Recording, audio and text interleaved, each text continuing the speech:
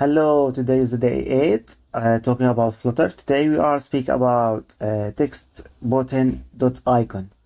So, uh, what is the text button icon in Flutter? Text button is the normal text uh, in Flutter, uh, like make a, a visible uh, button to, to click in, in Flutter.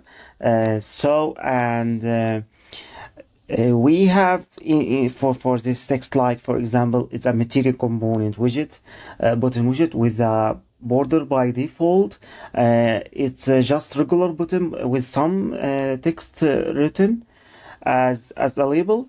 And also the text button is a placement to to make like a flat button. For for the older version in flutter they have something is a, a flat button. Now we are using a text button. So uh, let me give a small example about text button dot icon. What is that what is how it's work? Text button uh, text button dot icon. I will give it onPressed I will give that. I will give a label. I will give uh, only only two things. So let me remove this. So right now I will give text and I will give this text welcomes for example. Now when I give refresh it will show uh, the same normal normal uh, uh, button text button but only there are something is special for text button icon. This it's uh, there are an icon for example.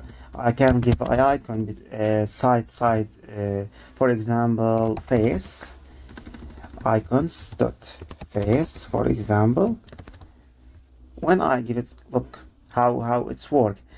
So that's all uh, uh, that's all for today and uh, before I, I go I need to explain a small thing for text the icon.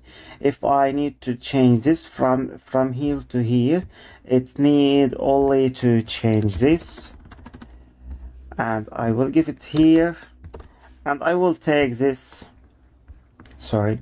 I will take this. I I will add it here. So now when I give it refresh now it's changed perfectly that's all for today. Thank you for watching and goodbye